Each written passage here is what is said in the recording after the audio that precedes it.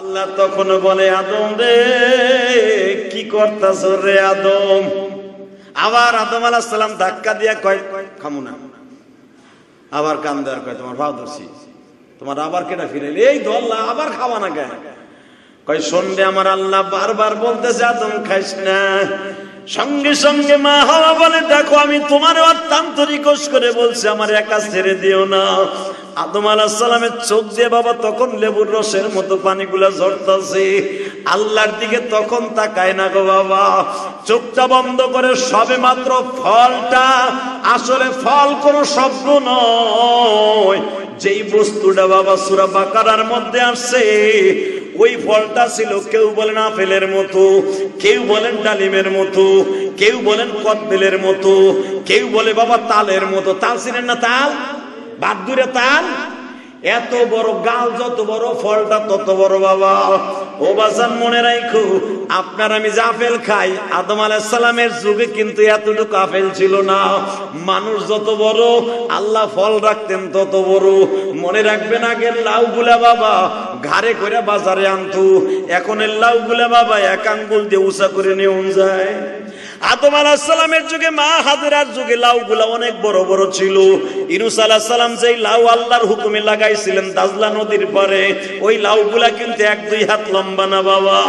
আদম আলাহিসাল্লামের যুগে সেই ফলটা অনেক বড় বাবা, তালের মতো।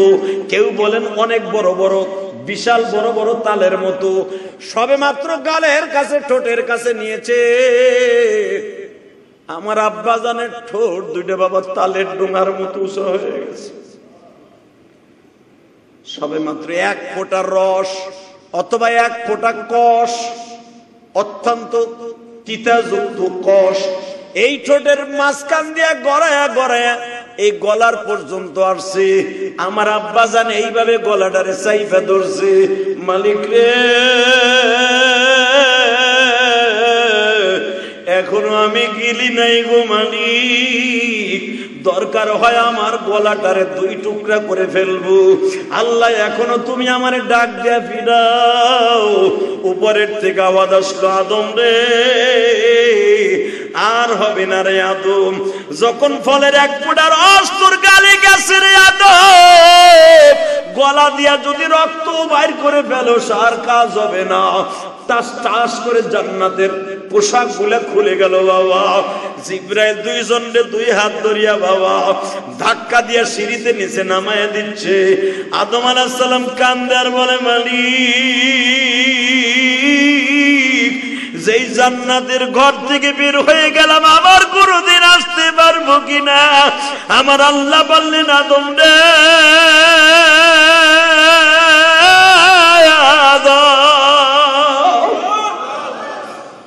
দুনিয়ার সব মাখলুক জান্নাত থেকে যাবে। দুনিয়া নামক জেলখানায় যে তারা ভাগ হয়ে কেউ জান্নাতে যাবে, কেউ জাহান নামে যাবে। বাজান, আর কথা দীর্ঘায়িত করতে চাই না। শুধু তিরিশটা সেকেন্ড একটা কথা বলতে চাই। আমরা জান্নাত থেকে আসছি, আমার বাবা জান্নাত থেকে আসছে, যাবে জান্নাতে। তার সন্তানগুলা জান্নাত থেকে আসছে, যাব জান্নাতে। সবচেয়ে বড় আশ্চর্যের বিষয় হলো, যেদিনকে বাবা আদম আর মা হাওয়াকে এক জায়গায় মিলন ঘটায়, ওই মাসটাও ছিল মহরমের মাস। আপনাদের জানা আছে, মহরম মাসে দাম শুধু এই যে আমাদের দেশে কিছু ভণ্ড নালায়ক, না খান্দা এই যে তাজিয়া, না ফাজিয়া, কি কয় হ্যাঁ? গোড়া বানায়। আমি জানি না এরা কোথার থেকে এটা আবিষ্কার করেছে। মহরমের দাম শুধু হোসাইন রোজাল্লাহ শহীদ হয়েছে এর জন্য নয়। মহরমের দাম দুনিয়া বানাইবার শুরু থেকে আমার আল্লাহ করে দিয়েছে। হালাকি আদম আলাহ সাল্লামের সময় হয়েছে এবং এখানে শেষ না। মুসা আল্লাহ সাল্লামকে আল্লাহ পাক যেই কারণে ইহুদিরা এখনও পর্যন্ত মহরমের দশ তারিখ রোজা রাখে। এবং এই মাসটাকে আল্লাহ বলা হয়েছে রমাদন মুহাররম। যে ব্যক্তি এই মাসে রোজা রাখবে, দশ তারিখ মহরমের দশ তারিখ, আল্লাহ রবুল আলমিনের কাছে রমজানের পরে সবচেয়ে দামি আফজাল সিয়াম বাদার রমজান রমজানের পরে সবচেয়ে দামি রোজা হলো মহরমের দশ তারিখ। ইয়ামুল আশুরা মান সামা ইয়ামুল আশুরা বাদা আও ক্বাবলা মহরমের দশ তারিখের আগে অথবা পরে? এগারো অথবা নয়, দশ। মিলে যারা দুইটা রোজা লাগবে কাবলা সানা সানা। এক বছরের সামনের পিছনের আল্লাহ করে বছরে দুইটা দিনের রোজা আমার আল্লাহ এক বছর সামনে এবং পিছনের গুণা মাফ করে। বছরে কয়দিন জোরে কন। দুইটা দিন রোজা রাখলে বছরের এক বছরের গুণা মাপ এই বছর তো মাপ হবে অর্থাৎ দুই হাজার চব্বিশ সাল মাপ হবে, পঁচিশ সালও মাপ হবে। বোঝেন নাই মনে আমার কথা? অর্থাৎ দুই বছরের গুণা মাপ বাবা আদম তিনশো ষাট বছর কাঁদে, সেই যুদ্ধি পাহাড় থেকে কান্না শুরু করছে, শ্রীলঙ্কার থেকে হাঁটা শুরু করছে। আদম আলাহ সালাম লম্বা ছিলেন, আপনার আমার হাতের একশো বিশ হাত। এ, জোরে কন। আরও জোরে। একশো বিশ হাত আমার দেশের কয় হাত? হয়? কয় তালা হয়? দশ ফুট করে যদি একটা তালা হয়, হিসাব করেন কয় তালা? কয় তালা হয়? বারো তালা? ইঞ্জিনিয়ার কয় একশো বিশ হাত, বিশ তাহলে বারো, তেরো তালা, সাড়ে বারো তালা যদি একটা মানুষ এই জামানে সাড়ে বারো না, তিন তালা পরিমাণ কোন যদি একটা লোক আহে, এই বাংলাদেশে এয়ারপোর্টে নামে, হেরে তো পৃথিবীর এমন কোন বিমান নাই যে বিমানে করে হেরে আনতে। হেরে আনলে আনতে হবে ঠেলা গাড়িতে ঠেলায়। কথা অথবা টেরাকে ঠেলায় আনতে হইব। কারণ সাদালা কোন যানবাহনে তার আনন্দ ঠিক না? হ্যাঁ। আদম আলাহাম একশো বিশ হাত লম্বা, মা হাওয়া আলাহাম একশো আঠারো হাত লম্বা। এই মানুষ দুটিয়া যদি আল্লাহ বা কোনোদিনও খাড়া করে, আবার কোনোদিন। বাংলাদেশে কয়, যা, বাংলাদেশে একটু ঘুরে না। বাংলাদেশের মানুষ বড় খারাপ হয়ে গেছে। এক একটা থাবুর মারবি, কান জড়ায় এক এক থাপ পুরে তার হাতের এই পাঞ্জার ভিতরে, এক এক থাপ পুরে পাঁচটা মানুষের গায়ে লাগবে। এমনি থাবুর দেবো পাঁচ জনের কান কোন উড়ে যাবে। কথা কন না কেন? আদম আলাহামের পায়ের চিহ্নটা আপনারা জানেন, এখনও পর্যন্ত আছে শ্রীলঙ্কায়। অনেক হাজিরা দেখতে যায়, অনেক মানুষ টুরিস্ট দেখতে যায়। আদম আলাহামের পায়ের, আপনারা দেখছেন থেকে সাড়ে পাঁচ হাত তার পায়ের চিহ্নটা। তাহলে হিসাব করে এলেন আপনার আমার বডির চাইতে লম্বা বেড়ার খালি পায়ের পাতা তাহলে তার বডির সিনেটা কেমন ছিল? আপনারা সহজে বুঝাই দেয়, এই যে জাবালে রহমা যেটা, আরাফার মাঠে আরাফার মাঠে জাবালের রহমা কিন্তু এতটুকু না। এটা আরও অনেক লম্বা ছিল। অনেক বড়, যেখানে এখন বাইঙ্গা চুইরা খালি একটু রেখে দিছে নবী সেই বিদায় হজের ভাষণের চিহ্নটা শুধু রেখে দিছে। হালাকি এই জায়গা থেকে মসজিদে নামিরা যেখানে বলা হয়, যেখানে আদম আলাহ সাল্লামের সাথে মা হাওয়ার সর্বপ্রথম সাক্ষাৎ হইয়া দুইজন যেখানে বয়ে নামাজ পড়েছে এখানেই মসজিদে নামিরা, আলহামদুলিল্লাহ এই জায়গাটাই দুজনে মিলনের স্থান। তো এখান থেকে শুরু করে জাবালে রহমা কিন্তু এই পর্যন্ত ছিলেন। এত বড় পাহাড় ভেঙে এখন জাবালে রহমান যে আরাফার মাঠটা অনেক বড় সম্প্রচার করেছেন, কারণ মানুষ ধরে না এই জন্য আর ওই জায়গাটায় বিষ্টুনকিত জাবাল মসজিদে নামিরা পর্যন্ত।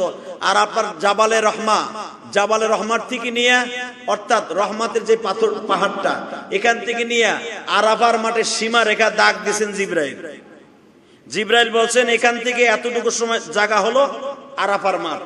এখান থেকে এতটুকু হলো মুজদালেফার মাঠ। এখান থেকে এতটুকু হলো মিনার মাঠ। এটা কিন্তু মানুষে দেয় না দেশের সরকার দেয় না। কে দিছে? জোরে কন না কেন? এটা আদম আলাহ সালামের যুগ থেকে শুরু হয়েছে সীমারেখা। এই জন্য লাগবেন লেম প্লেটে লেখা আছে, বেদায় আরাফা, নেহায় আরাফা। এই পর্যন্ত শেষ আরাফা, এই পর্যন্ত মোজদালেফা শেষ। আপনি যেখান থেকে আরাফার মাঠ শেষ, ওখান থেকে এক কদম সামনে যদি নয় জিলহস এক কদম। আরাফার মাঠ যেখান থেকে শেষ, নয় জিলহস সূর্য ডোবার আগে যদি আপনি বের হয়ে যান, আপনার হজবা কথা মনে হয় বোঝেন নাই। কি আছে ওই জায়গাটার মধ্যে? এই জন্য তো সরকার সীমারেখা দিয়ে দিছে, যেটার বাইরে যাওয়া যাবে না, নয় জিল হাউস কারণ এটা কই পাইলো সরকার? এটা পেয়েছেন নবীর যুগ থেকে, আদম নবীর থেকে। আল্লাহ বলতে পারেন না? তাহলে বোঝা গেল আদম আলাহিসাল্লামের যুগের থেকেই মহরমের চাঁদেই আদম আলাহিসাল্লামকে আরাফার মাঠের আরাফা শব্দের অর্থ হলো আরাফা। আরাফুন পরিচয়। দুইজনের মিলনের জায়গা বিদায়। এই জায়গাটার নাম আমার আল্লাহ আরাফা রেখে দিয়েছে। তো যেখানে জাবালে রহমা, এখানে আমার নবীর বিদায় হজের ভাষণ এখান থেকে মসজিদে নামিরা পর্যন্ত জাবালে রহমায় পুরাটা ছিল। ভেঙে এখন মাঠ বানাই দিয়েছে। মনে রাখবেন দুইজনের সাথে যখন দেখা, জীবনের শেষ, প্রথম দেখা। কারণ জান্নাত থেকে দুইজন আইসে, জান্নাতের পরিবেশ ছিল একটা। দুনিয়া কারে কয়, দুইজন তো জানছে এক জায়গায় বইয়া না, দুইজন দুই জায়গায় বইয়া। কারণ মা হাওয়ারে যখন দুনিয়ায় ফেলে, তখন ছিল সেই সময়টা ছিল সোবে সাদেকের সময়। দুনিয়া নামক স্থান কি, এটা তো তারা দুজন জানে না। মা হাওয়া যেখানে, লৌহিত সাগরের স্তরের উপরে ফেলছে, মহিলারা তো এমনি বই এক মাস পর্যন্ত ওইখানেই বয়ে রয়েছে। কই যামু কার কাছে যামু কার কাছে গেলে কি পামু তো নিজেই বুঝে না। আদম আলাহ সাল্লামরা যখন পাহাড়ের উপরে ফেলেছে, যেমনি ফেলছে, এমনি পড়ে রয়েছে মাসখানি কই যামু কার কাছে যামু শরীরে কাপড় নাই, দোনো দোনো ল্যাংটা, দোনো দোনো উলঙ্গ এত জান্নাতের দামি পোশাক ছিল, আল্লাহ খুলে রেখে দিছে কিচ্ছু নাই, দোনো দোনো উলঙ্গ তো উলঙ্গ মানুষটা কই যামু কার কাছে যামু? কার কাছে কাপড় চামু? কে আমারে দিবে? কেমনে যাব? এইভাবে আঠু দুইটা দিয়া লজ্জাস্থান ঢাইকা এইভাবে বসে আছে। আর মা হাওয়া বসে আছে এইভাবে। মা হাওয়া, যারা বালেক পুরুষ, তারা বুঝতে আর বাকি নাই। মহিলারা এইভাবে বসে অধিকাংশ সময়। কারণ তাদের লজ্জাস্থান তো দুইটা মহিলাদের। পুরুষের লজ্জাস্থান একটা। বোঝেন নাই আমার মনে হয় কথা? পুরুষ, মা আদম আলাহ সালাম বসে আছে এইভাবে। হাঁটু দুইটা সাইফেদের এমনি বয়ে রয়েছে। আর মা হাওয়া বসে রয়েছে এইভাবে। হাঁটু দুইটা গেড়ে দিয়ে বসছে, কিন্তু তার বডি ঢাকতে হবে তো, এইভাবে বসে আছে। পৃথিবীতে তো কোনো মানুষ নাই, আছে অন্য অন্য মাখলুক আল্লাহ বানিয়েছেন। বাঘ, ভাল্লুক, সিংহ, এই যে নতুন নতুন সাপ আবিষ্কার হয়, এই জন্য রাসেল বাইপাস না কি কয় এই রাসেল বাইপাস এটা এই জামানার থেকে না। আদম আলাহাল্লাম সাথে নিয়ে আসছেন সে দুনিয়া আসার আগে কোটি কোটি প্রকার সাপ আল্লাহ দুনিয়া আগে বানাইছে। সোমান আল্লাহ শুরু করতে পারলেন না? এই বাঘ, ভালুক প্রাণী, এগুলো আদম আলাহামকে পাঠাবার আগে বানাইছিলেন তো যেদিকে তাকায় এমন ভয়ঙ্কর ভয়ঙ্কর প্রাণী দেখে একটা মহিলা, নাই শরীরে কাপড়, কই যাবে, কার কাছে যাবে, কি করবে, খুব লজ্জা লাগতেছে। এমনি মা হাওয়া বসে রয়েছে। একবার এমনি বসে আর একবার এমনি বসে। কোন দিকে যাবে, কার কাছে যাবে? এক, দুই মাস না, মাসকে মাস, বছরকে বছর লোহিত সাগরের সরে মা হাওয়া ঘুরছে আর কাঁদছে। ঘুরছে আর কাঁদছে, ঘুরছে আর কাঁদছে। একটা মিনিট শুধু আমার দিক তাকাবে। ঘুরছে আর কাঁদছে, ঘুরছে আর কাঁদছে। ঘুরছে আর কাঁদছে। হঠাৎ করে আসমানের দিকে তাকাবে, লজ্জায় তাকায় না। কেমনে তাকাবো? আল্লাহ নিষেধ করল, আমার কারণেই তো আমার স্বামীটারে বাইর করলাম। আমার স্বামী বারবার বলছিল, খবরদার, ওই সবকিছু আমার কই, ওই ফলটা খাইতে কইও না। তুমি খাইছো খাইছো, আমারে খাইতে দিও না, অন্তত তুমি যাও, আমি থাকি।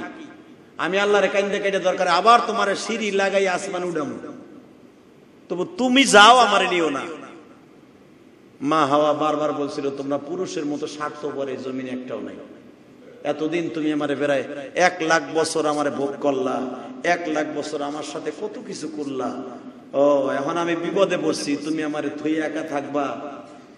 এই যে কান্না শুরু করল আর মহিলা গো, এই লবণ পানিটা কিন্তু অনেক জাদুকর।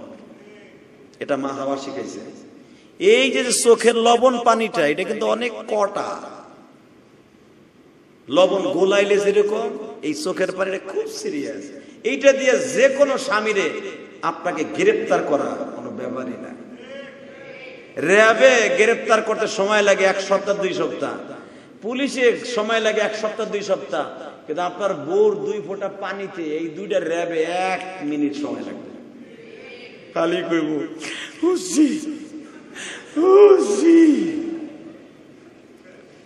আপনি গেছেন গা। সব বাপ কথা কন না এই যে উঠছি। এটা কিন্তু আপনার বউ আর আমার বউ না? এটা আমার মা হি হিগাইছে যখন আদম আলাহ সাল্লাম কইছে তুই যা আমি তোর উডার মনে। এই স্বামী স্ত্রী দোনা যদি জেলখানায় যাই আমি বাইর করব কেন? কথা কর না আদম আলাহ সাল্লাম কয় তুই জেলখানায় যাইতেছ দুনিয়া নামক জেলখানায়। আর দুনিয়া সিজুল মুমিনিন যা আমি তোর উডা মনে। কই বুঝছি বুঝছি, আমি একা যাব। আর উনি আমার কবে উড়াইব? ওই চিন্তায় উনি বই আদম আলাম কথা কি কইতেছাস ক? কয়, তুমিও খাও। না খাইলে না। আদম একবার আসমানের দিকে তাকায়, আর একবার বউর দিকে তাকায়। এই যে আমার মা কান্তাছে, আল্লাহ, এই বেটার ভিতরে কি মান দাও, আল্লাহ। আল্লাহ গো আমার কথা বুঝেন, আল্লাহ তোমার পাও ধরছি। আল্লাহ রে কয়, পাও ধরছি খাই আল্লাহ যেটা না করছে, হেঁটে খাইতে পারে। আল্লাহ, এর ভিতরে টিমান দাও, আমার দয়া মায়া দাও রে। এক লাখ বছর বেটা আমার লগে রইল। আমি বেটার লাগে কত নামাজ পড়তে গেছি। এখন আমি একা একা মহিলা মানুষ, কই যে হারামু, কই যে পড়ব, কই যে থাকব। আল্লাহ, এই বেটার ভিতরে টিমান দাও, হে যেন ফলটা খায়। আদম আলাহ সাল্লাম কয় ফল খাইতে কষ ইমান দিতে। তোমার ভাব ধরছি দেখো জানি, আমার ভুল হয়ে গেছে। আমি খাইছি খাইছি আমার একা পাড়ায় না দেখো ওইটা কি দেশ তা জানিও না, দেহিও নাই, কোন শহর? এটা জীবনে, এই মেজারা জীবনে আমেরিকা দেখেন নাই। হ্যাঁ গো, যদি এয়ারপোর্টে নামাই দেওয়ার আগে, ঠিকানা নেন, ভাই কই যে উঠবো, কোন হোটেলে নেবে? এই জন্যই তো সরকার। ইনভাইটেশন লেটারের আগে আপনি কোন হোটেলে উঠবেন? ওই হোটেলের কার্ড আপনার লাগবে। কথা কন না কেন? তা আমি যেখানে যাব সেখানে লোক চিনি না। মেরে ভাই দোস্ত বুজুর্গ, ভালো করে বোঝার চেষ্টা করবেন। এই পৃথিবীতে নবী যত আসছে দামি নবীদের মধ্যে কয়েকজন নবীকে আল্লাহ, এই পৃথিবীতে কয়েকজন নবীকে মহরম মাসে তাদের দামি করেছেন। তার ভিতরে মুসা নবী, ইদ্রিস নবী, নুহ নবী, আল্লাহ আকবর বলেন। মহরমের দাম হুসাইনের কারণে হয় নাই গো বাবা। মহরমের দাম হয়েছে একমাত্র আমার মাবুদের ঘোষণার কারণে। এই পৃথিবীতে ইদ্রিস নবীকে আমার আল্লাহ চতুর্থ আসমানে উঠাই নিয়ে গেছে মহরম মাসের দশ তারিখ। ইদ্রিস আলাইহিস সালাতু সালাম আল্লাহর সাথে কথা বলতেন, মুসা পয়গম্বর আল্লাহর সাথে কথা বলতেন, আদম আলাইহিস সালাম আল্লাহর সাথে কথা বলতেন ওই দিনটা স্মরণ করে রাখতেন যে এই দিনকে আল্লাহ রাব্বুল আলামিন তাদের তওবাকে কবুল করেছেন। মুহররমের 10 তারিখ আদম আলাইহিস সালাতু যতদিন পর্যন্ত মক্কা নগরীতে ছিলেন, কাবাগরের সামনে দাঁড়ায় আদম আলাইহিস সালাম বলতেন, মালিক, এই মহররমের চাঁদে তুমি আমারে মাফ করে দিয়েছ। কত কাদা কাচ্ছি আল্লাহ তিনশো ষাট বছর কাঁদছি তোমার মায়া লাগে নাই মায়ার নবীর দেশে আসিয়া মহরম মাসে তোমার কি একটা ডাক দিলাম ربنا ظلمنا أنفسنا وإن لم تغفر لنا وترحمنا لنكونن من الخاسرين যখনই আমার নিজের কথা বলিয়া তোমার ডাক দিলাম তুমি ডাক দিলা ফাতালাক্কা আদম মির রব্বি ফাতাবা আলাইহিম ইন্নাহু হুয়াত তাওয়াবুর রহিম। ও আদম, আমি তোর তওবা কি কবুল করতাম রে আদম। তুই এমন একটা দেশে দাঁড়াইয়া, এমন একটা ভূখণ্ডে দাঁড়াইয়া তুই এমন একজন মানুষের নাম ধরে ডাক দিছুর যেই মানুষটার জন্য আমি তামাম পৃথিবী বানিয়েছি। আদম রে, এক তো আমি দুইটার কারণে আমি তোরে আজকে মাফ করে দিলাম রে আদম। এক নাম্বার কারণ রে আদম আমার নবী যেই দেশে জন্ম নিবে, এই দেশে দাঁড়ায়া। আর এমন একটা মাসে তুই আমার ডাক দিস রে আদম যেই মাসে আমি তোরে বানিয়েছি, যেই মাসে তোর মধ্যে জান দিয়েছি, যেই মাসে আমি জান্নাত থেকে তোরে বের করছি। এ আদম মনে রাখবি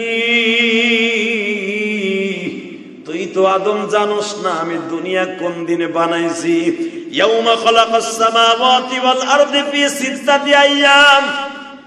আমি ছয় দিনে দুনিয়া বানাইছি রে আদম। দুনিয়ার কোন মাখলুক জানতো না। জানতো একমাত্র আমি আল্লাহ আর আমার ফেরেস্তারা এই ফেরেস্তারা আমি আল্লাহ জানতাম যেই দিন আমি দুনিয়া বানাইছি।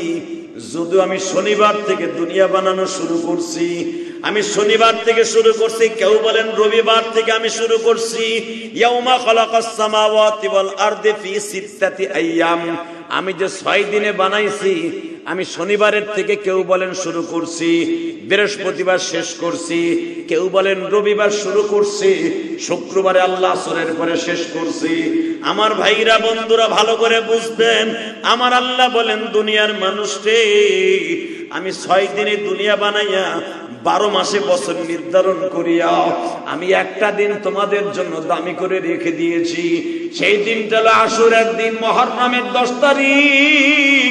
বান্দা এই দিনকে তোমার বাবা যদি মাপ পেয়ে থাকে তুমিও যদি ওই দিনকে রোজা রাখিয়া আসরের নামাজের পরে অথবা মাগরিবের আগ দিয়ে আমি আল্লাহর কাছে হাত তুলো, জীবনে যা কিছু চাইছো না পাইছো, মহরমের দশ তারিখের খাতির আমি আল্লাহ তোমার জীবনের সব গুণাগুলি মাফ করে দিব।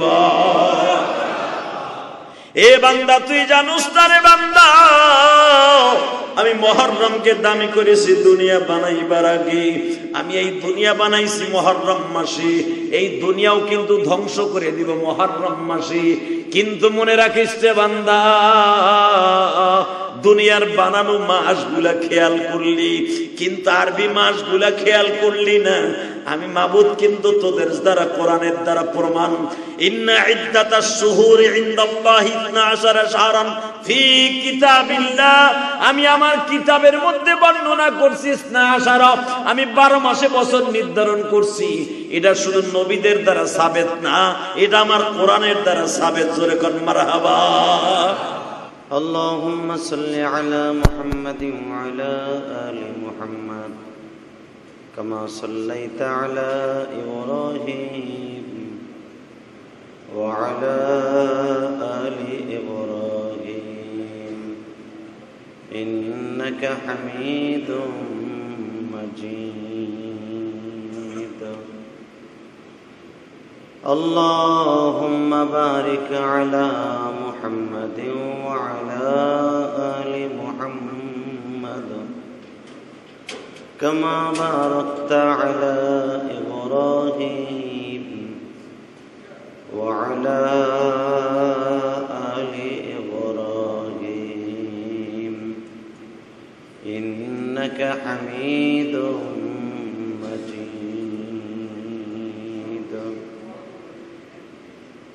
نحمده ونستعينه ونستغفره ونؤمن به ونتوكل عليه.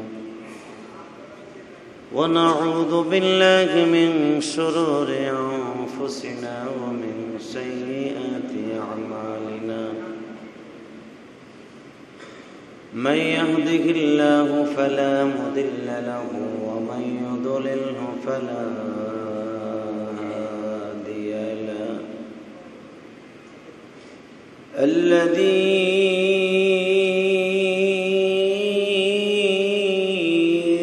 أرسل رسوله بالهدى ودين الحق ودين الحق ليظهره على الدين كله وكفى وكفى بالله شهيدا.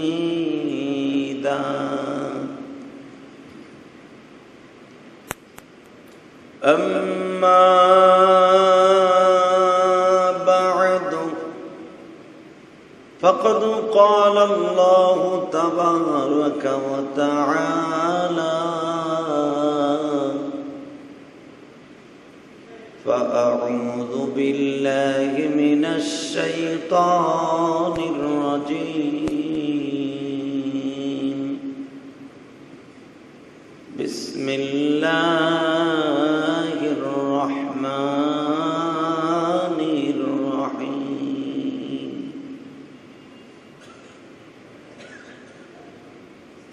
سبح لله ما في السماوات وما في الأرض الذي خلق الموت والحياة ليبلوكم أيكم أحسن عملا وهو العزيز الغفور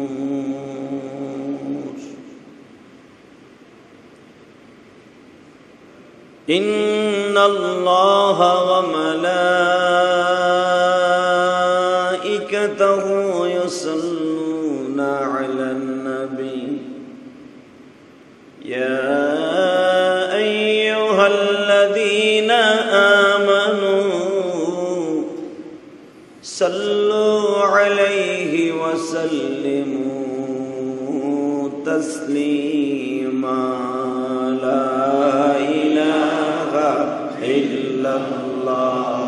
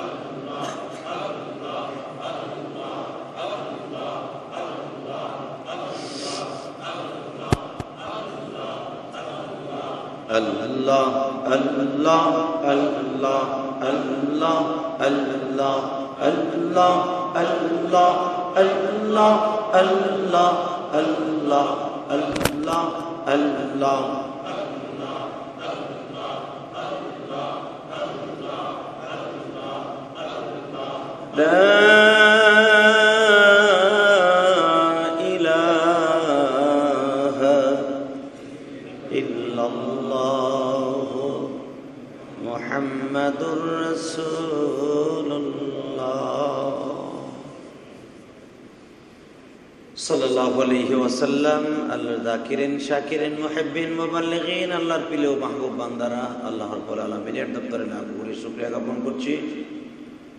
যে মহান সত্তা আপনাকে আমাকে পবিত্র জুমার দিনে মহররমের প্রথম জুমা, আরবি বৎসরের প্রথম জুমা, আল্লাহ পাক আপনাকে আমাকে হাজির হওয়ার তৌফিক দান করেছেন। ওই মহান প্রতিপালকের শুক্রিয়া আদায় করে বলছি, আলহামদুলিল্লাহ। প্রশংসা করলাম কা খুশি হয়েছেন কে? ওই আল্লাহর প্রশংসা আর একবার বলে, আলহামদুলিল্লাহ। এইবার প্রশংসা করতে বলেছি এই জন্য আল্লাপাক মহরম মাসে এই পর্যন্ত আল্লাহ আমাদেরকে বাঁচিয়ে রেখেছেন। إن عدة الشهور عند الله اثنا عشر شهرا في كتاب الله يوم خلق السماوات والأرض منها أربعة حروم আল্লাহ বছরকে নির্ধারণ করার জন্য তার কিতাবের মাধ্যমে আল্লাহ নিজে বর্ণনা করেন কিতাবের দ্বারা অর্থাৎ কোরআন শরীফ আল্লাহ বর্ণনা করেন ইয়াউমা খালাকাস সামাওয়াতি ওয়াল আরদ আল্লাহ রাব্বুল আলামিন বলেন, আসমান জমিন বানিয়ে আমি কোরআনের যারা আমি ডিক্লারেশন দিলাম, আমি বারো মাসে বছর নির্ধারণ করেছি। এটা আমার কিতাবের দ্বারা প্রমাণ। জোরে কন, মারহাবা। বছরের মাস গণনার দিক দিয়া একটা হলো চন্দ্রের দিক দিয়ে গণনা আর একটা হলো সূর্যের দিক দিয়ে গণনা। যেটাকে বলা হয় এই পৃথিবীতে দিনের দিক দিয়ে গণনা আর চন্দ্রের দিক দিয়ে গণনা দুইটা কিন্তু এক না। দিন শুরু হয় সকালের থেকে। দিন কখন থেকে শুরু হয়? আর রাত শুরু হয় কিন্তু আসরের পরের থেকে।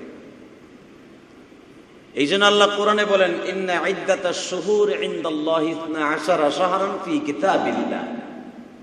আমি বারো মাসে বছর নির্ধারণ করেছি, অবশ্যই এটা আমার কিতাব দ্বারা প্রমাণিত, অর্থাৎ কোরআন দ্বারা প্রমাণিত। আমি আসমান জমিন বানিয়েছি, বানাবার পরে দুনিয়ায় নিয়মতান্ত্রিক ঠিক রাখার জন্য আমি বারো মাসে বছরকে নির্ধারণ করেছি। কথাটা কে বলেছেন? পৃথিবীর কোন মানুষ বনে নেই। কে বলেছেন? এরপরে আল্লাহ পাক বলেন, মিনহা আর হরুম। আমি বারো মাসের মধ্যে কিছু কিছু মাস আমি খাস করছি, দামি করছি। তার ভিতরে চারটা মাস অনেক দামি।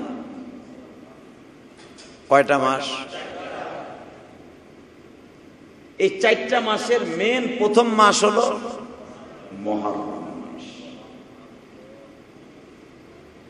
আর এটা হলো আরবি বছরের প্রথম মাস। আরবি বছরের প্রথম মাস, আমরা যেরকম ভাবে ইংরেজদের দিনের থেকে শুরু হয়, বাংলা আবিষ্কৃত হয়েছে, এই যে বৈশাখ, জ্যৈষ্ঠ, আষাঢ়, শ্রাবণ, ভাদ্র, আশ্বিন, কার্তিক, নাকি? এখন যদি বাংলা মাস জিজ্ঞেস করি হান্ড্রেডে হান্ড্রেডই পারবেন, আমি জানি, সবাই পারবেন। ইংরেজি মাস জিজ্ঞেস করলেও পারবেন। আমি যদি আরবি মাস জিজ্ঞেস করি, আমার মনে হয় নাইনটি ফাইভ পার্সেন্ট লোকই পারবে না। কথা বলেন না কেন? হালাকে বাংলা মাসটা বাংলা নববর্ষ যেটা, বৈশাখ মাস থেকে শুরু। বৈশাখ, জ্যৈষ্ঠ, আষাঢ়, শ্রাবণ, ভাদ্র। মনে হয় শ্রাবণ মাস চলে নাকি? আষাঢ় মাস চলে।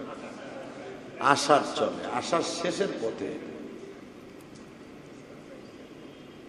হালাকে আল্লাহ রবুল আলমিন, আমার আজকে শীত লাগতেছে, আর আপনারা ফ্যান সেরে বয়ে রয়েছেন না, ফ্যান চলে না ভিতরে। আল্লাহ পাকের হাজারো শকর। কেন শকর? যে আমি মুসলমানের ঘরে জন্ম নিয়েছি, আমার জন্য আরবি মাস আল্লাহ হাদিয়া দান করেছে। এবং আরবি মাসটা কোরআনের দ্বারা প্রমাণিত। আল্লাহ নিজেই বলেন আমি ছয় দিন দুনিয়া, ছয় দিনে বানাইছি। এই ছয় দিনে বানায়া আবার মাস তিরিশ দিনে, উনত্রিশ দিনে নির্ধারণ করেছি। বছর আমি বারো মাসে নির্ধারণ করেছি। ইসনা আশারা। ইসনা মানে দুই, আশারা মানে দশ। আমি বারো মাসে নির্ধারণ করেছি বছর। তিরিশ দিন, উনত্রিশ দিনে আমি মাস নির্ধারণ করেছি, সপ্তাহ সাত দিনে করেছি। কথাটা কি বলেন? অর্থাৎ সাত দিনে আমি যে তোমাদের জন্য নির্ধারণ করেছি, মনে রাখবা বান্দা, এর ভিতরে আমি চারটা মাস খাস করেছি। আরবি বছরের প্রথম মাস আমি মহরম হিসাবে, দামি হিসাবে ঘোষণা দিয়েছি। আরও জোরে বলেন। তাহলে আরবি বছরের প্রথম মাসে আপনি উপস্থিত হতে পেরে প্রথম জুমায় খুশি নেবে হ্যাঁ? ও, ইংরেজি জানুয়ারির প্রথম মাসের জুমা হইলে খুব ধুমধারেক্কা হইতো না? হালাকে জানুয়ারি জুমার দাম আমার আল্লাহর কাছে নাই, যেটা কোরআনের দ্বারা প্রমাণিত। মাহারাম, সাফার, রবিউল আউ্বাল রবিউল সানি। তারপরে জামাদুল উলা, জামাদুল উখরা, রজব শাহবান রমজান, কোন কোন? সওয়াল জিলকাত, জিলহাজ্জা। শেষ বারো মাস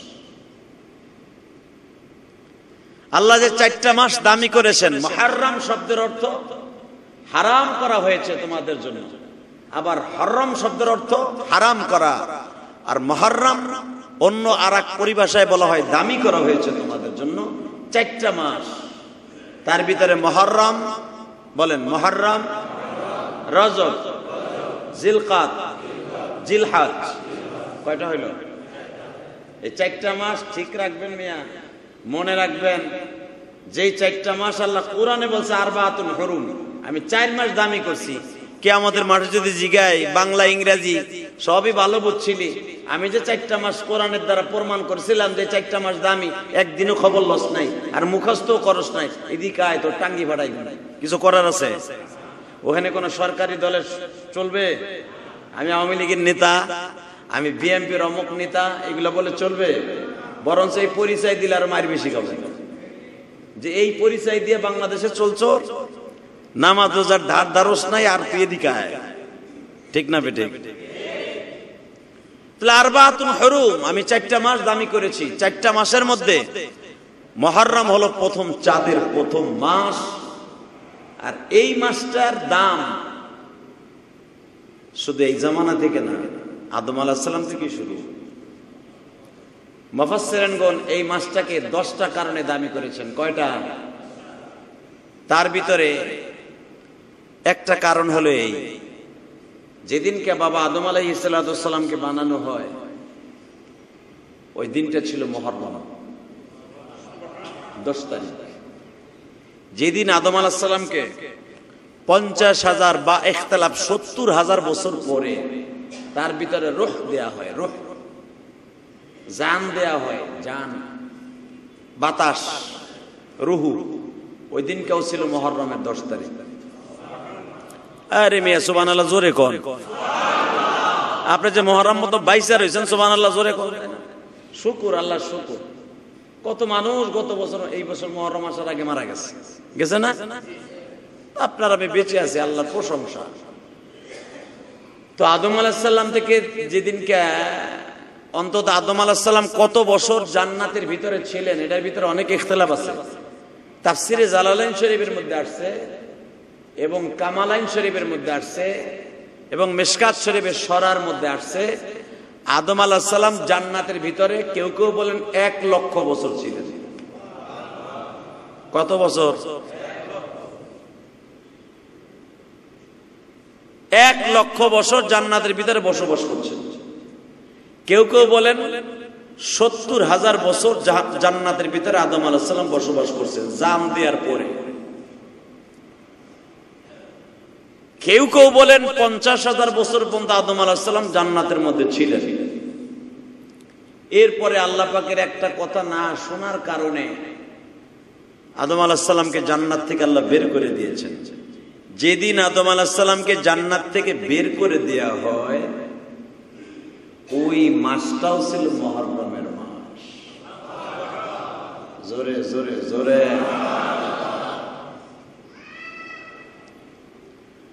আল্লাহ। এবং এখানেই শেষ না। আদম আলাহাল্লামকে যখন আল্লাহ রব্বুল আলমিন বের করে দেওয়ার পরে তিনশো ষাট বছর কাঁদেন। তিনশো ষাট বছর কাদার পরে মা হাওয়া এবং বাবা আদমকে দুইজনকে দুই রাষ্ট্রে ফেলানো হয়েছে। দুইজনের ভিতরে প্রায় ডিফারেন্স হাজার হাজার কিলোমিটারের ডিফারেন্স আদম আলাহিসাল্লামকে ফেলছে শ্রীলঙ্কায়, আর মা হাওয়াকে ফেলছে সেই জিদ্দায়। হিসাব করে দেখেন শ্রীলঙ্কার থেকে জিদ্দা কত হাজার কিলোমিটার ডিফারেন্স দুইজনকে দুই প্রদেশে ফেলছে, আর দুইজনকে ফেলছে এমন জায়গায়, যেই জায়গায় একজনরে ফেলছে পাহাড়ের উপরে, একজনরে ফেলছে চরের উপরে। চর বুঝেন তো? হ্যাঁ? চর বুঝেন? চর মানে পদ্মার চর, মেঘনার চর। চরের এলাকার মানুষ যারা, তারা সহজে বুঝবেন। চর সংক্ষেপে বলা হয় চারিদিকে পানি, মাঝখানে এক দ্বীপ। এর নাম কি কয়? চর। আল্লাহ। আল্লাহ রব্বুল আলমিন মা হাওয়াকে ফেললেন লোহিত সাগরের চরে। যেখানে লোহিত সাগরের পারে আমি গুনাগার দুই হাজার নয় সালে আমি গেছিলাম। আলহামদুলিল্লাহ। দুই হাজার নয় সালে আমার আব্বা আমার সাথে হজের সফরে ছিলেন। তো দুই হাজার নয় সালে যখন আব্বা হজের সফরে ছিলেন, আমাদের ফ্লাইট বিলম্ব হয়েছিল। তো জেদ্দা থেকে আমাদেরকে লোহিত সাগরের ওইখানে হোটেল আছে, ওইখানে নিয়ে যাওয়া হলো। দুই দিন ওখানে আমাদের হোটেলে রাখা হলো। তো কি করব দুই দিন? লোহিত সাগরের পারে বসে বসে আল্লাহর কুদরত দেখছিলাম আর ভাবছিলাম, আমাদেরকে বলা হইতেছিল ওই দেশের মানুষ, এই যে সেই চর, যেই চরে মা জেদ্দাকে ফেলা হয়েছিল। আর ওই লোহিত সাগরের সোজাই ওই ক্যানেলের দিক তাকাইলেই মিশর দেখা যায়, মিশর। আর ওই মিশরই হলো সেই ফেরাউনের নীল নদের সেই খালটা। দেখা যায়, লোহিত সাগর ওই পারে দাঁড়াইলে জেদ্দার ওখানে। আল্লাহ পাকের প্রশংসা, আল্লাহ পাকের হাজারো শকর। লোহিত সাগরটা আমি দেখেছিলাম। জেদ্দা বিমানবন্দর থেকে প্রায় একশো কিলোমিটার দূর। তো এখান থেকে দাঁড়ায় দাঁড়ায় সাগরের পারে দাঁড়ায় ভাবছিলাম, পুরুষ না হয় চরের থেকে সাঁতরায় সুতরায় স্পিরিট বোর্ডে নৌকা হোক, জাহাজ হোক, যেভাবে হোক, একদিন একদিন আসতে পারে। একটা মেয়ে মানুষ, একটা মহিলা মানুষ, কেমনে ওই চরের থেকে প্রায় একশোর উপরে নদীর দূরত্ব, একশো কিলোমিটারের পরে এই নদীটা পার হয়ে মা হাওয়া কেমনে এসেছিলেন? মহরমের দশ এটা আমার মৌলার খেলা। এটা কার খেলা? হ্যাঁ? খেলাটা কার? উনি এখনও আসে না নাই? এটাই তার জ্বলন্ত প্রমাণ যে একটা মেয়েকে ভাই স্থলের থেকে, পাহাড়ের থেকে আপনি গৈরে নামেন, হাইটা নামেন পাঁচরায় নামেন পিসেল দিয়ে নামেন, নামতে পারবেন।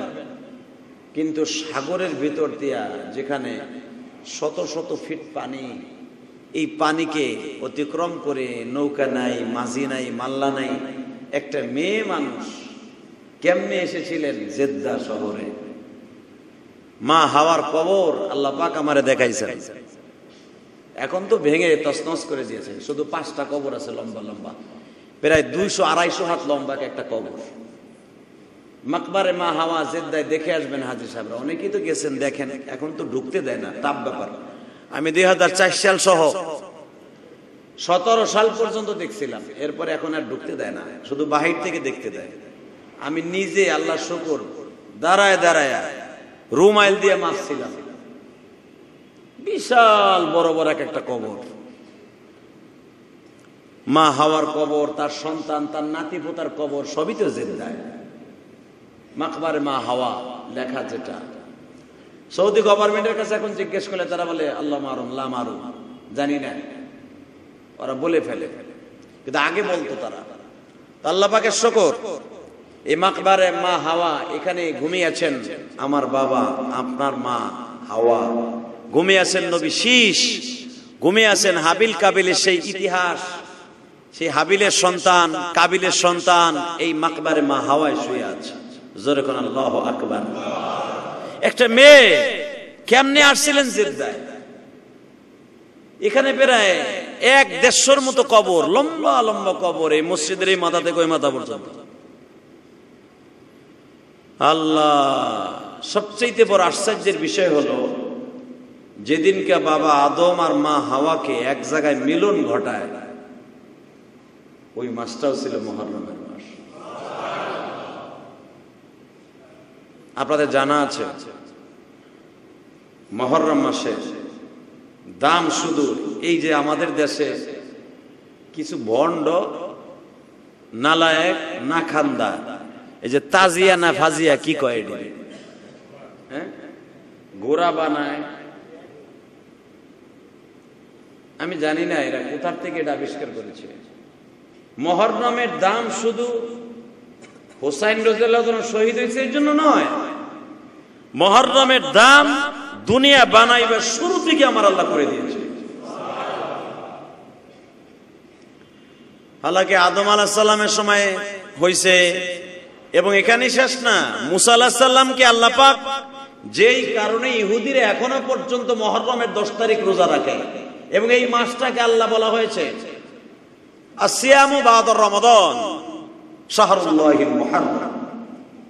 যে ব্যক্তি এই মাসে রোজা রাখবে, দশ তারিখ মহরমের দশ তারিখ, আল্লাহ রবুল আলমিনের কাছে রমজানের পরে সবচেয়ে দামি আফজাল সিয়াম বাদর রমাদন। রমজানের পরে সবচেয়ে দামি রোজা হলো মহরমের দশ তারিখ।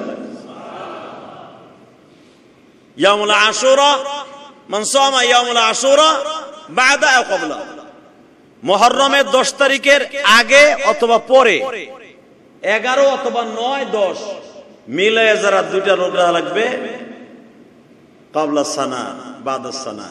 এক বছরের গুণা সামনের গুণা পিছনের গুণা আল্লাহ মাফ করে দিবে বছরে দুইটা দিনের রোজা আমার আল্লাহ এক বছর সামনে এবং পিছনের গুণা মাফ করে। বছরে কয় দিন? জোরে কন। দুইটা দিন রোজা রাখলে বছরের এক বছরে গুণা মাপ এই বছর তো মাপ হবে অর্থাৎ দুই হাজার চব্বিশ সাল মাপ হবে, পঁচিশ সালও মাপ হবে। বোঝেন নাই মনে আমার কথা? অর্থাৎ দুই বছরে গুণা মাপ যদি বছরে দুইটা দিন রোজা রাখে, একটা হলো জিলহজ মাসের নয় তারিখ আরাফার দিন। আর একদিন হলো মহরমের দশ তারিখ। সোমান আল্লাহ জোরে কইলেন না? বছরের দুইটা দিন রোজা রাখলে আল্লাহ এত দাম তাদের। যারা মহরমের দশ তারিখ রোজা রাখবেন, আলহামদুলিল্লাহ, আল্লাহ শুকুর, রাখবেন। আর যারা রাখতে পারবেন না, তাদের যে গুণ হবে তাও না। কিন্তু গুণা হবে তাদের। যারা গোড়া সাজায়, নকল গোড়া সাজায় শরীরে চাবুক মাইরা তাজিয়া বানায়া, ঘোড়ার ডিম বানায়া, কি করে না করে ভণ্ডামি শয়তানি? টাটকা শয়তানি কাজে কোন কোরআন হাদিসের কোথাও নাই, টাটকা শয়তানি কাজ। বরঞ্চ সরকার এবার পদক্ষেপ নিয়েছে, আলহামদুলিল্লাহ। বিগত কয়েক বছর ধরে পদক্ষেপ নিয়েছে। এটা যারা করবে, পুটকাবাজি ফুটাবে, শরীরে চাবুক মারবে, ওইগুলার থানায় নিয়ে শ্বশুর বাড়িতে ভালো ভালো খাওয়ান দিব। এটা সরকারকে ধন্যবাদ জানাই, আলহামদুলিল্লাহ বলেন। কারণ এটা ডাইরেক্ট শয়তানি। এটার ভিতরে কোনো ফায়দা নাই, বরঞ্চ কুল্লু মুহাদাসাতিন বিদআ ওয়া কুল্লু বিদআতিন দলালা। এটা ডাইরেক্ট নিজে বানানো, মন করা শয়তানি ইবাদত। আর রসুল বলেছেন কুল্লু মুহাদাসাতিন বিদআ। যারা নিজেরা মন করা বানায় কোন ইবাদত করবে, এটা হলো বিদা বিদাত। আর বেদাত করা কানে কুল্লু বিদআতিন দলালা ও কুল্লু দলালাতিন ফিন্নার ডাইরেক্ট জাহান্নাম। কোন আমল কবুল হবে না। কেন, কি জন্য, কে এটার আবিষ্কার করছে জানি না। হালাকে হোসেন রাজিয়াল্লাহু জন্ম নিয়েছে, শহীদ হয়েছে একষট্টি হিজরিতে হালাকে দশে মহরম আমার নবী রোজা রেখেছেন দশে মহরম পালন করেছেন আমার নবী। যখন আমার নবী হিজরাত করেছেন মদিনায় মদিনায় ঢুকেই দেখে একটা শ্রেণি, মদিনার একটা শ্রেণি আওজ আর খাজরাজের মধ্যে একটা শ্রেণির লোক রোজা রাখে। রসুল জিজ্ঞেস করলেন কি ব্যাপার আপনারা রোজা রাখেন কেন? তারা বললেন, এই দিনকে আমাদের নবী মুসা আলহি সাল্লাম ফেরাউনের হাত থেকে আল্লাহ পরিত্রাণ দিয়েছিলেন। এই জন্য তার স্মৃতি ধরে রাখার জন্য আমরা রোজা রাখি। রসুল বললেন, আপনারা রোজা রাখেন মুসা আল্লাহ সাল্লামকে আল্লাহ বাঁচাই দিছিলেন দশই মহরম এটার জন্য। আমার নবী ওইটা দেখে আইসেই বললেন, আমিও তো রোজা রাখি, কিন্তু আমার উম্মাদগুলা ইহুদি, নাসারাদের খেলাফ হবে। ইখতলাফ ইহুদি, নাসারার সাথে হতে হবে। খোলাফা ইহুদি, নাসারা, খেলাফা। অর্থাৎ তাদের সাথে, আমার সাথে এক হতে পারে না, কারণ ইহুদিদের ধর্ম আমি নবী আসার পরে তাদের হুকুম রদ হয়ে গেছে। আর চলবে না, এখন একমাত্র চলবে আমি নবীর হুকুম। কথা ঠিক না বেঠিক তো ইহুদি, নাসারারা যেটা করে, অর্থাৎ শিয়ারা যেটা করে নবী বললেন, এটা চলবে না। আমার উম্মাত রোজা রাখবে দুইটা। কয়টা? জোরে কান। আরও জোরে। ইয়ামুল আশুরের দিন অথবা একদিন আগে অথবা পিছে।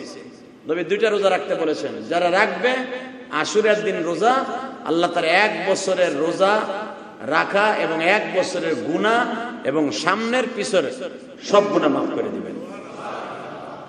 তাহলে আশুরের দিন আমরা কি ঘোড়া সাজাইয়া, তাজিয়া সাজাইয়া এই বন্ডামি করব না রোজা রাখব? আলহামদুলিল্লাহ বলেন। রাখবেন তো সবাই। ইনশাল্লাহ বলেন। আরও জোরে বলেন। আরও জোরে। কথা আছে এখন। কথা হলো এই এই তাজিয়া যারা করে, তাজিয়া যারা রাস্তায় রাস্তায় তাজিয়া সাজায়া ঘোড়া সাজায়া একটা বাচ্চা ছেলেরে দেখবেন ইরানে করে, ইরানে। এই যে ইরানের প্রেসিডেন্ট যে মারা গেল হক্কানি উলামা একরাম তার জন্য দোয়া করে নাই। সে একজন তেজস্ব নেতা ছিলেন, মুসলমানের জন্য কাজ করেছে। তার জন্য কেন দোয়া করে উলামা একরাম? এটা জানেন, সারা পৃথিবীতে কেন দোয়া করে নাই? কারণ তারা আকিদাগত ভাবে তারা আকিদাগত ভাবে সমস্যা আছে। কারণ সারা পৃথিবী থেকে স্বীকৃত শিয়ার অমুসলিম সারা পৃথিবী থেকে স্বীকৃত এই যে কাদিয়ানি, এটা শিয়াদের একটা এজেন্ডা। এটা জানেন না আপনারা। ইরান ইসরায়েল এদের থেকে টাকা নিয়ে কাদিয়ানিদেরকে চালানো হয়, পঞ্চগড়ে। আপনাদের পঞ্চগড় জানেন নাই? আমি গেছি, আমি জানি। একাধিক বার বেড়া পঞ্চাশ থেকে ষাট বার ওদের আস্তানায় ঢুকছি, আমি দেখছি। ওদের সব কর্মকাণ্ড কর্মকাণ্ডগুলা ইসলাম বিরোধী। ওরা আমার নবীর ডাইরেক্ট মানেই না। বলে যে মোহাম্মদের চরিত্রের মধ্যে ভেজাল আছে। ওরা ডাইরেক্ট বলে। এই জন্য মোহাম্মদের চরিত্রে ভেজাল ছিল বিলায় মির্জা গোলাম মোহাম্মদ কাদিয়ানি রে উনি ওনার চরিত্র সদ্রানের জন্য এর দায়িত্ব দিয়ে গেছে কত বড় হারাম করতাই চিন্তা করছেন। মির্জা গোলাম মোহাম্মদ কাদিয়ানির জন্ম কবে? আর আমার নবীর জন্ম কবে? কথা বলেন না কেন? আরে নবীর জন্মের নবী নিজে বলেছেন। আমার পরে যদি কোন নবী হইতো, যে নবীরে দেখছে, নবীর হাতে গঠন গঠনকৃত সাহাবি রসু বলেন, আমার পরে যদি কাউরে নবুয়াতির দায়িত্ব দিতাম, আমি উমরকে দিতাম। আরও জোরে বলেন। তো ওমরকে দিল না, মির্জা গোলাম আহম্মদ কাদিয়ানি। প্রায় শত শত বছর পরে জন্ম নিয়ে ওরা দলিল কি দেয় জানেন? ওরা দলিল দেয়, স্বপ্নের ভিতরে তারা নবী বানাই দিছে পৃথিবীতে মনে রাখবেন, আল্লাহ কোন নবীর স্বপ্নের ভিতরে নবী বানান নাই। আল্লাহ নবীদেরকে যখনই নবী বানাইছে ডাইরেক্ট নবী বানাইছে। কি বানাইছে? মুসা চল্লিশ দিন বসায়া, রোজা রাখায়া, তুর পাহাড়ে ফেলায়া, কায়দা মতো সাইজ করে এরপরে নবতী দিছে। ঈসা আলাহ সাল্লামকে পৃথিবীতে দুইজন নবীকে আল্লাহ মায়ের থেকে নবুয়াতির দায়িত্ব দিচ্ছেন কিন্তু নবুয়াতির দায়িত্ব একটা জিনিস আর নবুয়াতি প্রকাশ করার একটা জিনিস। দুনিয়া সব নবী দুনিয়া আসার আগেই নবী। কিন্তু মনে রাখবেন, নবুয়াতি শুরু হয়েছে, তাদের প্রেক্ষাপল শুরু হয়েছে। চল্লিশ বছরের পরের থেকে।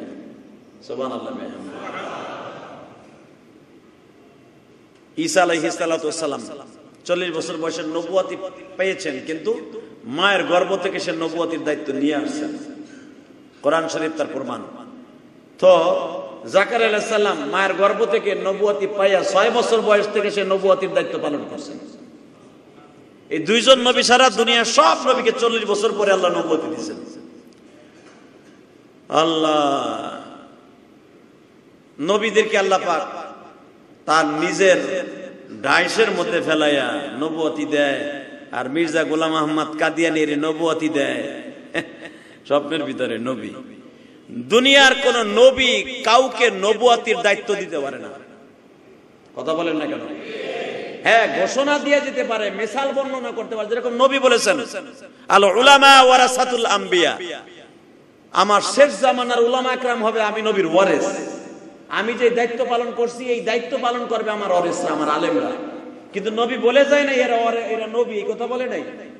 আমার ওয়ারেস, আমি যে কাজ করেছি, এই কাজ আমার উম্মাদগুলা করেছে। যেরকম কমিশনার চলে যাওয়ার সময় বলে যায়, ভাই, আমার দায়িত্বটা আমার পোলাডারে দিয়ে গেলাম একটু দেখে শুনে রাখেন। কিন্তু কমিশনার বললি কি কমিশনার হয়ে জানি কথা বলেন না কেন? মানুষে ভোট দেয়, সরকার ডিক্লার দিলে তারপরে। ঠিক নবীদেরকে নবুয়াতি পাওয়ার জন্য উপরের থেকে ডিক্লার লাগে। কোথা থেকে? মেরে ভাই দোস্ত বুজুর্গ, ভালো করে বোঝার চেষ্টা করবেন। এই পৃথিবীতে নবী যত আসছে দামি নবীদের মধ্যে কয়েকজন নবীকে আল্লাহ, এই পৃথিবীতে কয়েকজন নবীকে মহরম মাসে তাদের দামি করেছেন। তার ভিতরে মুসা নবী, ইদ্রিস নবী, নুহ নবী, আল্লাহ আকবার জোরে বলেন।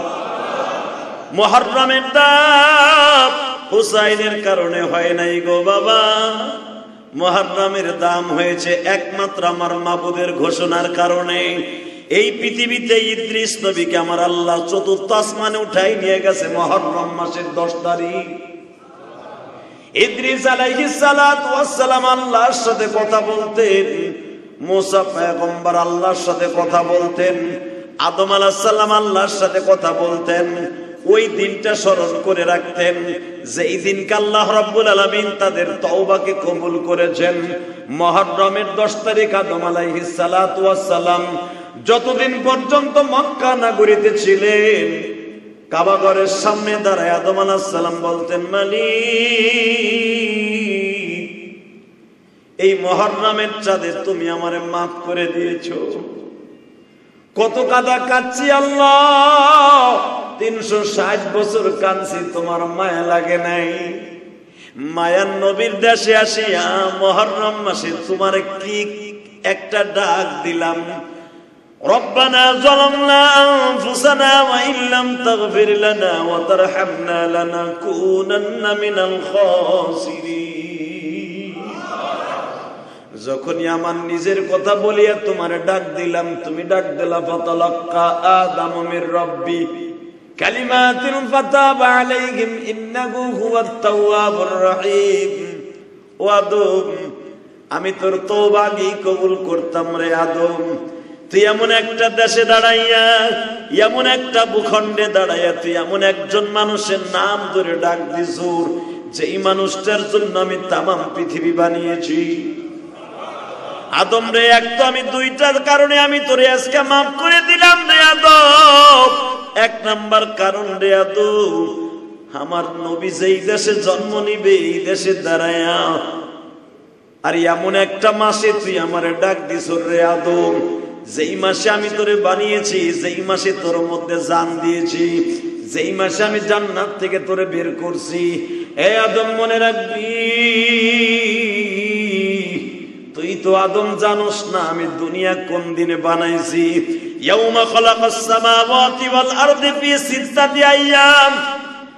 আমি ছয় দিনে দুনিয়া বানাইছি রে আদম। দুনিয়ার কোন মাখলুক জানতো না। জানতো একমাত্র আমি আল্লাহ আর আমার ফেরেস্তারা এই ফেরেস্তার আমি আল্লাহ জানতাম। যেই দিন আমি দুনিয়া বানাইছি, যদিও আমি শনিবার থেকে দুনিয়া বানানো শুরু করছি, আমি শনিবার থেকে শুরু করছি, কেউ বলেন রবিবার থেকে আমি শুরু করছি। আমি যে ছয় দিনে বানাইছি আমি শনিবারের থেকে কেউ বলেন শুরু করছি, বৃহস্পতিবার শেষ করছি, কেউ বলেন রবিবার শুরু করছি, শুক্রবারে আল্লাহ আসরের পরে শেষ করছি। আমার ভাইরা, বন্ধুরা, ভালো করে বুঝবেন, আমার আল্লাহ বলেন দুনিয়ার মানুষকে আমি ছয় দিনে দুনিয়া বানাইয়া বারো মাসে বছর নির্ধারণ করিয়া আমি একটা দিন তোমাদের জন্য দামি করে রেখে দিয়েছি। সেই দিনটা হলো আসুর একদিন মহরমের দশ তারিখ। বান্দা এই দিনকে তোমার বাবা যদি মাপ পেয়ে থাকে, তুমিও যদি ওই দিনকে রোজা রাখিয়া আসরের নামাজের পরে অথবা আমি আল্লাহর কাছে হাত তুলু, জীবনে যা কিছু চাইছো না পাইছো, মহরমের দশ তারিখের খাতির আমি আল্লাহ তোমার জীবনের সব গুণাগুলি মাফ করে দিব। এ বান্দা, তুই জানুস না রে বান্দা?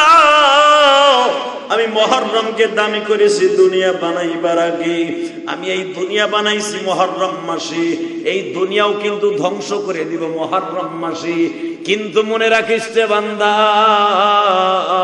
দুনিয়ার বানানো মাসগুলা খেয়াল করলি, কিন্তু আরবি মাসগুলা খেয়াল করলি না। আমি মাবুদ কিন্তু তোদের দ্বারা, কোরআনের দ্বারা প্রমাণ।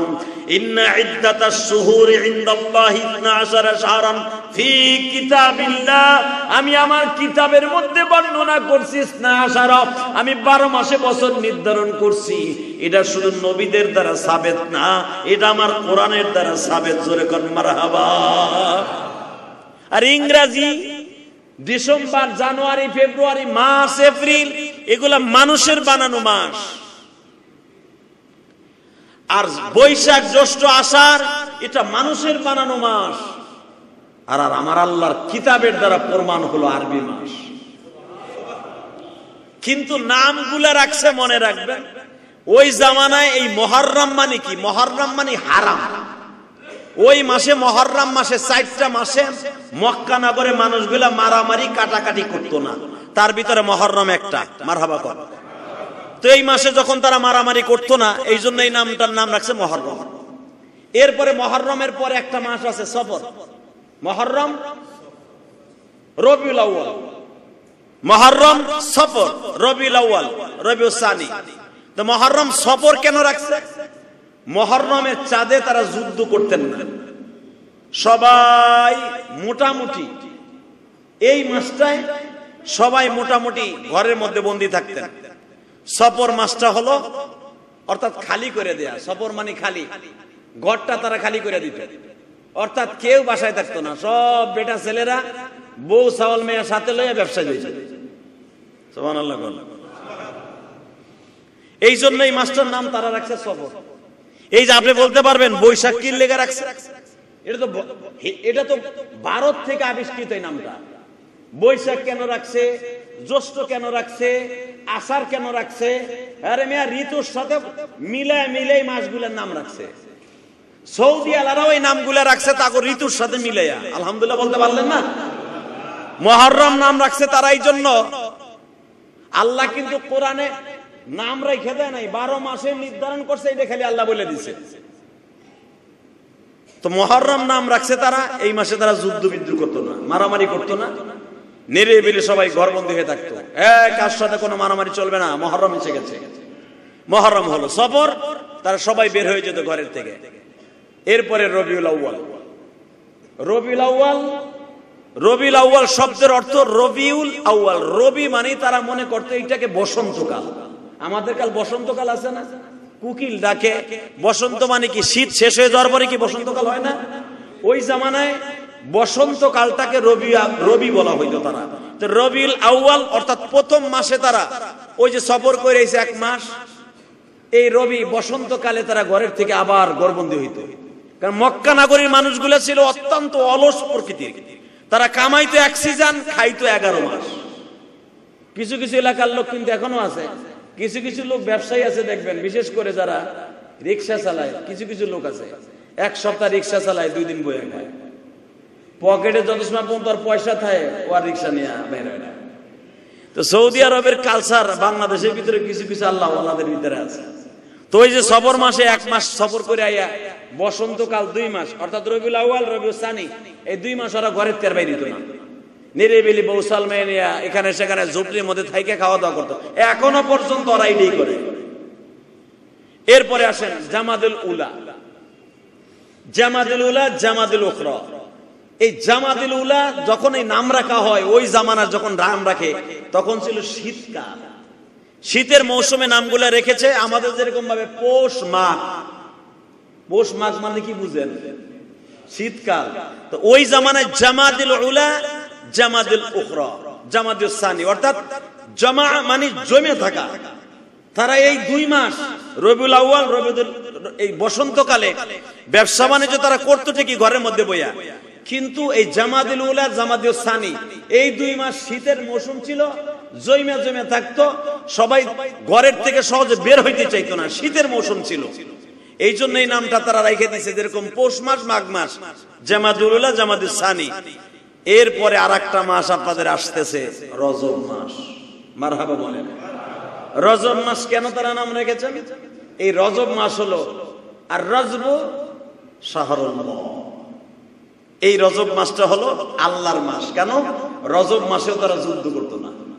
সুবহানাল্লাহ বললেন না? রজব মাস কারণ চারটা মাসে তারা যুদ্ধ করতো না। তার ভিতরে রজব মাস একটা এই জন্য তারা বলতো, রজব মাস হলো আল্লাহর মাস। এই মাসে যুদ্ধ করা যাবে না। এই মাসটাকে তারা ইবাদত মনে করতো। তারপর হলো শাবান। শাবান তো আপনারা বুঝেন। শাবান অর্থাৎ হলো তাদের কাছে এমন একটা পরিপাটি মাস এই সাবান মাসেও যুদ্ধ করা যাবে না, এই মাসে ইবাদতের মাসে। এখনও পর্যন্ত রজব, সাবান, রমজান, এই তিনটা মাস সৌদি আলাদের কাছে অনেক দামি মাস। এর এখনও পর্যন্ত সাবান মাসে, রজব মাস যখন শুরু হয়, মক্কা নাগরীতে এমন একটা সিস্টেম হয়, মদিনে এমন একটা সিস্টেম হয়, তারা ইবাদতের জন্য উপড়ে পড়ে। এই জন্য তারা সাবান, রমজান, এই দুইটা মাসকে তারা অনেক দামি মনে করতেন। এরপরে আসেন, রমজানের পরে হলো শাওয়াল মাস। এই শাওয়াল মাসেই তারা শুরু করে দিতেন। যত যুদ্ধ, মারামারি, কাটাকাটি যা আছে, একজন আর একজনকে ঘাইল করা, এই শাওয়াল মাসের অর্থ এমন ভাবে তারা শুরু করতেন, যেটাকে অত্যন্ত রক্তক্ষয়ী মাস বলা হইতো। এই সময় কেউ ঘরে থাকতো না। এই মাসটাকে তারা শাওয়াল মাসটাকে তারা মনে করতো অন্যরকম মাস। শাওয়াল এরপরে হলো জিলকাত, জিলহাস। আপনারা তো জানেন, জিলহজ মাস একটা দামি মাস জিলকাদ একটা দামি মাস। এই মাসের মধ্যে আবার তারা ইবাদতে শুরু করে দিতেন। এইভাবে জিলহজ মাস হলো বছরের আরবি বছরের শেষ দিন। এই আরবি বছরের শেষ দিনে এসে তারা একটা কাজ করতেন। সেটা কি? মহররম সামনে আসতেছে, আর কোনো কাজ চলবে না। আমরা সব এক হয়ে যাব। এবং এক হইয়া আল্লাহকে সন্তুষ্ট করার জন্য যা কিছু দরকার তাই করব। কারণ এই পৃথিবীতে সর্বপ্রথম গজব এসেছে আর এই পৃথিবীতে সর্বপ্রথম রহমাত এসেছে মহরমের চাঁদে। জোরে বললেন না? এখন যদি বলেন পৃথিবীতে প্রথম গজব কবে আসছে? কারণ দশই মহররম ফেরাউনের পরে গজব আসছে। কথা বলেন না কেন? এবং এখানেই শেষ না। এই পৃথিবীতে সর্বপ্রথম মার্ডার করছে মার্ডার। মার্ডার। কাবিল যে হাবিল যে মার্ডার করছে, সেই মার্ডার যে খুন করেছে মহরমের দশ তারিখ। পৃথিবীতে সবচেয়ে একটা কাল দিন। খারাপের দিক দিয়ে এক নাম্বার, ভালোর দিক দিয়ে এক নাম্বার। এই দিনটাকে স্মরণ রাখার জন্য মক্কার মানুষগুলা অত্যন্ত মর্মহত থাকতেন। অত্যন্ত নিশ্চুপ থাকতেন। কিন্তু মনে রাখবেন, তারা নিশ্চুপ থাকতেন, ভালো কাজ করতেন, আর আমরা ভালো কাজ করি। তাজিয়ার দ্বারা রাস্তায় রাস্তায় ঘুরি, রং সিডাই চাকু মারি, এটা কি ভালো কাজ? কথা জোরে বলতে হবে। যারা এটা করে, তাদের হাতে পাও ধরে বলবেন, ভাই, এটা কোরআন হাদিসে নাই, এটা করিস না। যদি না শুনি, এটা তার ব্যক্তিগত ব্যাপার। কিন্তু আপনার আমার দায়িত্ব হলো তারে ফিরাই দেয়া, তার হাতে পাও ধরা। তা মুরুনা বিল মারুফ হাউনা বিল মুনকার অত মিনুনা বিল্লাহ। ভালো কাজের আদেশ দেওয়া অসৎ কাজ থেকে ফিরাই রাখা। এটা হলো এক নাম্বার মোমেনের খাসলা। কিন্তু তাদের মারাও যাবে না, কাটাও যাবে না। যদি মায়ের পিট করতে হয়, সরকার করবে, এটা আপনারা মান না কথা ঠিক না বেটে তাহলে ভালো কাজ মহরমে করার দরকার আছে না নাই? এই মহরমের চাঁদে সবচাইতে ভালো কাজ হলো মহরমের দশ তারিখ রোজা রাখা আর একটা কাজ আছে। দিনের বেলা রোজা রাখা, ইফতারির পরে ছেলে মেয়েকে নিয়ে ভালো ভালো, দামি দামি জিনিস খাওয়া। বছরে কয়েকটা দিন ভালো খাইলে সারা বছর আল্লাহ তারে ভালো খাওয়াবে। একটা দিনের কথা বিশ্বনবী দামি করে রেখেছেন। কেউ যদি একটা দিন ছেলে মেয়েকে নিয়ে রোজা রাখার পর ইফতারির টাইমে দামি দামি জিনিস খায়, আল্লাহ তাকে সারা বছর ভালো খাওয়াবে। হাদিসে আছে, সেই দিনটা হলো মহরমের দশ তারিখ। সেই দিনটা কোন তারিখ? এখন যদি কোন হুজুর মহরমের দশ তারিখ খাওয়ার কথা বিশ্বনবী বললেন, আল্লাহ বললেন, জানুয়ারি এক তারিখ বলে নাই? না। কোথাও নাই। বৈশাখের এক তারিখ পান্তা বা তিরিশ খাইতে বলে নাই? না। আপনি এই দিন খাবেন, গুণ হবে। কথা বলেন না কেন? এই দিন খাবেন, কি হবে? হ্যাঁ? হ্যাঁ একদিন খাওয়ার কথা বিশ্ব বিশ্বনবী নিজে বলে গেছে। এখন যদি বলেন, যদি বৈশাখ মাস আবিষ্কৃত, রসুলের যুগে হইতো রসুলে মনে কইতো, না, এটা হবে না তো নবী জানে। এই মাস আল্লাহ বছর ইন্না ইদ্দাতা শুহুর ইনদাল্লাহি আশারা শাহরা। মানুষ আবিষ্কার করবে অনেক কিছু অনেক কিছু, এই ফ্যান রসুলের যুগে ছিল না। আবিষ্কৃত হবে এটা রসুল জানতেন। ইলেকট্রিক এই যুগে আছে, কারেন্ট, এটা রসুল জানতেন যে শেষ জামানায় হবে। কিন্তু এই জন্য রসুল কিছু কিছু ইবাদাতের দিক দিয়ে পৃথিবীতে রেখে গেছেন, যেগুলো রদ বদল আর করা যাবে না। তার ভিতরে আরবি বছরের এই মাসগুলো, আলহামদুলিল্লাহ বলেন। রমজান মাস পৃথিবীতে কেউ পাল্টাইতে পারবে? আচ্ছা আপনি আমার সাথে উত্তর দেন, যারা এখানে আছেন। রমজান রে ধাক্কায়া, তারাবি আপনি কি সাবান মাসে আনতে পারবেন? যদি কোনো ওয়াশ কমিটি কয়, আমরা সাবান মাসে তারাবি করব। ওই কমিটির সুদ্ধা পিটাইব মানুষ। কথা কন না কেন? কোন সরকার যদি করে? হ্যাঁ? এটা রসুল জানতেন, সরকার কেন? পৃথিবীর কোন মুসলিম কান্ট্রিতে এমনকি কোন ইহুদি দেশেও, তারা ডিক্লেয়ার দিবে না যে আপনারা এতদিন রমজান মাসে তারা বিপর্ষণ রোজা রাখছেন, এই বছর থেকে আমাকে জানুয়ারি মাসে যখন সাবান পড়ে গেছে, প্রথম বছর আমাকে বছরের দিক তাকাই অন্তত সাবান মাস আপনার তারা পড়বেন। পৃথিবীর কেউ মানবে না। কথা বলেন না কেন? আমার আল্লাহ এই জন্য বলেন বান্দারে মিনহা আর আরবাতুন হুরুম। আমি চারটা মাস তোমাদের জন্য দামি করেছি রে বান্দা। এই চারটা মাস তোমরা ইবাদতের দিক দিয়ে এক নম্বরে রাখবা। তার ভিতরে মহরম, হজের মার জিলকত শাওয়া জিলকত আর রজব মাস। এই চারটা মাসে যদি তোমরা সঠিকভাবে ইবাদত করতে পারো রমজান তো এটা আমি আলাদা রেখে দিলাম। এই চারটা মাস তোমাদের ইবাদতের জন্য আমি আলাদা রেখে দিলাম। এই চারটা মাসের ইবাদত যদি তোমার অ্যাকাউন্টে থাকে বাদার রমদন শাহরুল্লাহিল মুহাররম। কারণ মহরম মাসটা আমি আল্লাহর মাস।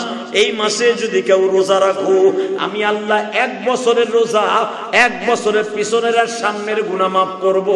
রোজা রাখার সোয়াব তোমার অ্যাকাউন্টে দান করে দিব। বাজান এখানে শেষ না, মহররমের দশ তারিখের কথা মাত্র একটু টাচ দিয়ে যাই।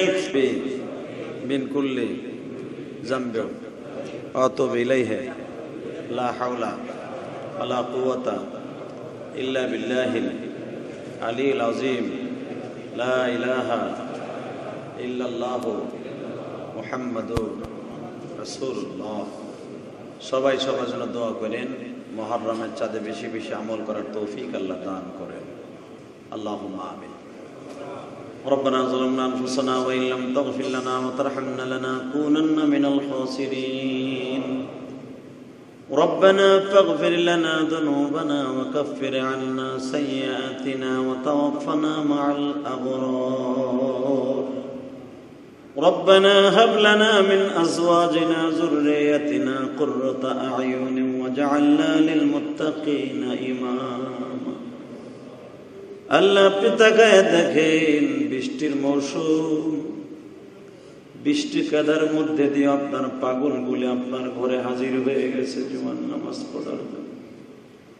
আমি জানি অনেক দূর দূরান্ত থেকে তোমার কোরআনের পাখিগুলি, নামাজের পাখিগুলি উড়ে উড়ে চলে আসছে আল্লাহ, এই বৃষ্টি কাদার মধ্যে তোমার পাগলগুলি যারা এত কষ্ট করে মসজিদে আসতে পারে, আল্লাহ, তাদের সকলের নামাজ নামাজগুলো তুমি কবুল করে নিও জানি না কবে যেন হায়াতে জিন্দিগি শেষ হয়ে যায়। একদিন এমন মসজিদ আমার বাবা আসতো, আমার চাচারা আসতো। জোরের ভাইটা আসতো, তারা আজকে কবরের মাটির সাথে মিশে গেছে গো আল্লাহ। যারা কবরে চলে গেছে, তাদের কবরগুলা জান্নাতের বাগান মানে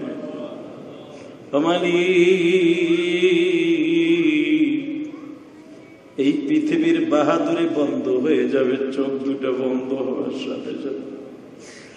বাড়ি বাড়ি করি আমি, আমার বাড়ি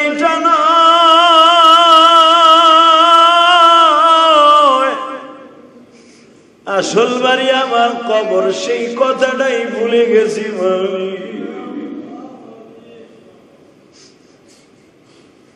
কেবা হবে সঙ্গে হবে সঙ্গে কবরের বাতি দিবে। কে ভাই একটু সওয়া খবরে পাঠাবে। আমরা যেমনি মা বাবার জন্য দোয়া করি, আমাদের ছেলে মেয়েগুলাকেও নামাজে বানায় দোয়া করার মতো বানায় এমন সন্তান রেখে যেতে চাই না। মৃত্যুর পরে দোয়া করার মতো কেউ থাকবে আল্লাহ কত মানুষ দোয়া চাইছে, কারও মা নাই, বাবা নাই, কেউ মসজিদ, মাদ্রাসায় দান করেছে। বর্তমান কমিটি, বিগত কমিটিতে যারা আছে, এই মসজিদের কমিটি যারা ছিল, আজকে অনেকে কবরের বাসিন্দা হয়ে গেছে। কত খতিব ছিল, আজকে তারা কবরে চলে গেছে। আমি গুনাগার কবে যেন কবরের বাসিন্দা হয়ে যাই? কমিটির মধ্যে কার যেন কবে ডাকাই যায় আল্লাহ প্রত্যেকের জীবনের সব গুণাগুলি মাফ করে দিয়ে আল্লাহ যারা যেখান থেকে দান করে প্রত্যেকের দানগুলা কবল করে নিয়ে।